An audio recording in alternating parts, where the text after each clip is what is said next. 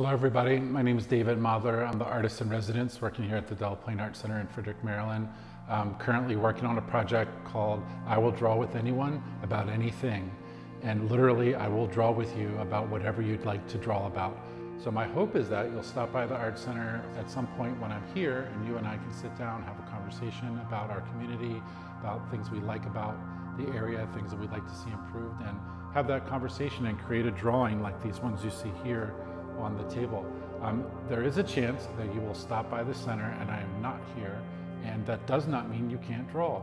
Please feel free to grab a piece of the paper that's provided. There's lots of drawing materials, and think about that prompt on your own. What do you think about this area? What do you like about it? What would you like to see changed? What are your impressions?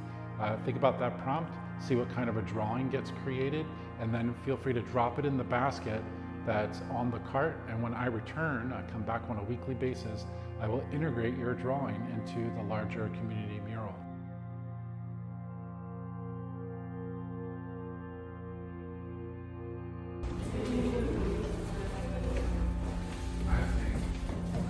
You see like how we got the trees right here? Yeah. I think it'd be perfect if that tree was part of that.